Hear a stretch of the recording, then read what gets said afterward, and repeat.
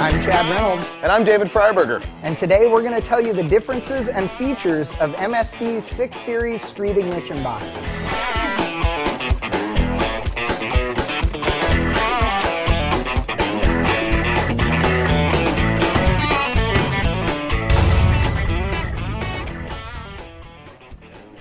Installing a multiple spark capacitive discharge ignition on your hot rod is one of the easiest upgrades you can do, and it ensures combustion, which improves drivability and performance. Now we get to play with fire to show you how that works. Check this out, it's pretty cool. This gap here simulates load in your combustion chamber, and you can see at relatively high RPM with a stock ignition system, this is what you've got.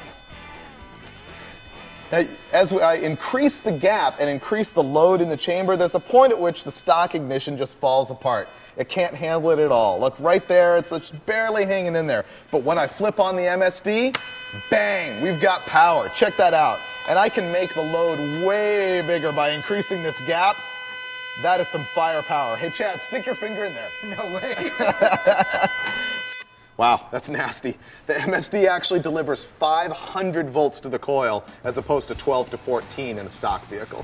So that gives you an idea why you're going to want to select an ignition system. Now, MSD makes a ton of products to improve ignition, from the entry-level 5 series to the full race 7 series. But what we're going to talk about today is the basic 6 series CD MSD ignition systems that you find on muscle cars everywhere.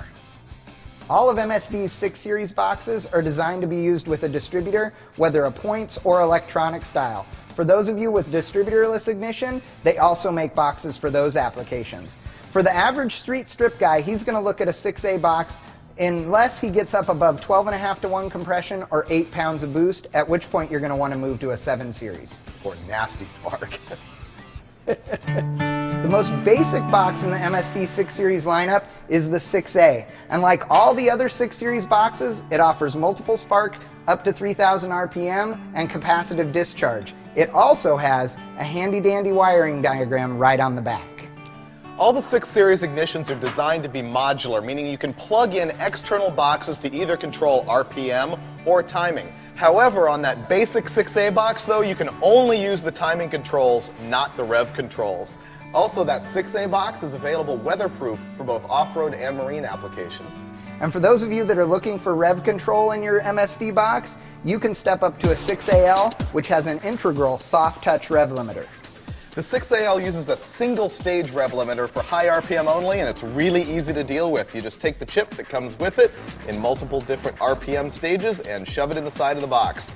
And man, it would be cool if you actually had an engine that would take that 8,000 RPM chip. Well, eight grand is cool, but boost is better. That's a true fact right there. And if you do have a small turbo or supercharger, you're going to want to go with the 6BTM. It has the same features of multi-spark CD and rev limiting as the earlier boxes that we talked about, but it also has the ability to retard your timing in proportion to your boost. And it's super easy to plumb. All you do is hook up your little vacuum line right up here to this nipple, and then it knows what your boost level is in the manifold. Then you take this knob that comes with the box and put it on your dash. And this is how you adjust how much timing you want to pull out per pound of boost.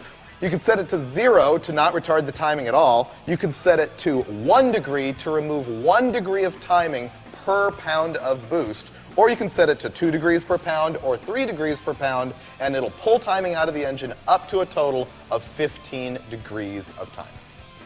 But the latest and greatest from MSD's 6 Series lineup is the new digital 6AL2.